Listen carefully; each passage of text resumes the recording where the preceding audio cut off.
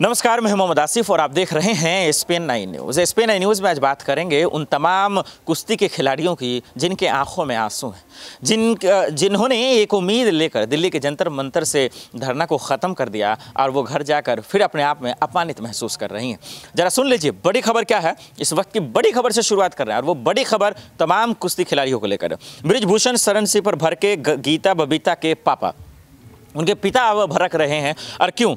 इसलिए क्योंकि विनेश फोगाड साक्षी मलिक, विनेश बोली कि नेशनल नहीं खेलेंगे। क्या कहा महावीर के फोगाट ने? नेशनल अब नहीं खेलेंगे।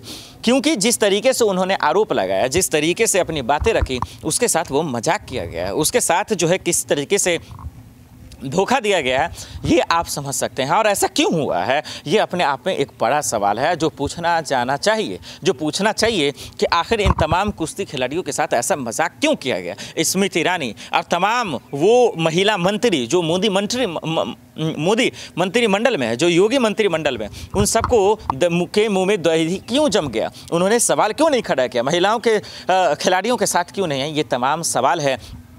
और अब नाराज़गी इसलिए क्योंकि जब वो लोग धरना खत्म कर दी गई हैं तो उनके आश्वासन के साथ मज़ाक किया जा रहा है।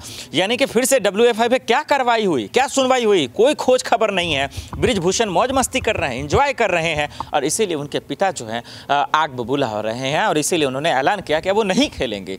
अब देखना पड़ेगा कि आखिर सरकार क्या कुछ करती है और नहीं करती है। ये तमाम सवाल है जो हमारे और आपके मन में है। देखना पड़ेगा कि आखिर जो है, वाकई में इसको लेकर के सरकार फिक्रमंद होती है? क्योंकि अब तो उनके पापा भी सामने आ गए। कम से कम उनका तो सुन लीजिए, क्योंकि जो इन बेटियों ने, जो इनके परिवारों ने हिंदुस्तान को दिया है, वो नेता के घर से नहीं मिल सकता है। ये स्मृति ईरानी के घर से नहीं मिल सकता है। इस बात को समझना पड़ेगा, क्योंकि इनके वजह से हम जाने जाते हैं। नेताओं की वजह से हम नहीं जाने जाते क्योंकि वो तो सांसद या मंत्री इसलिए बनते हैं क्योंकि अपने घर भर सकें। क्योंकि काम कितना होता है, उसका तो आप बात, बाखूबी तरीके से जानते हैं। तो दर्शकों, क्या वाकई में आपको लगता है कि इन खिलाड़ियों के साथ सिर्फ़ सिर्फ़ मज़ाक हो रहा है?